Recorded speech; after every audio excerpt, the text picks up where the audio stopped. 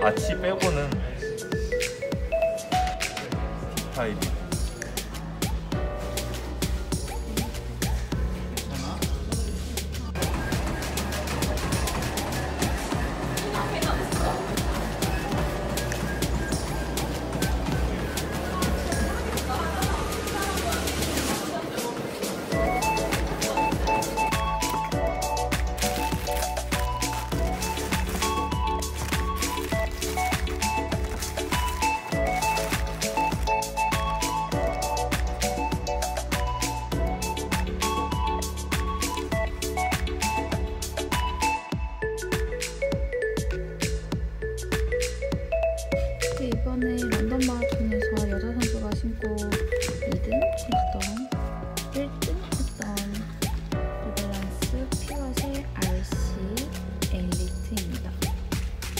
발볼이 조금 타이트하게 나와서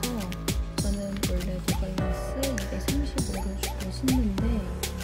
이 신발 같은 경우 30으로 넘게 나왔는데 원래 마라톤만 조금 넘어그 신발 이렇게 사이즈 조금 여유가 있어서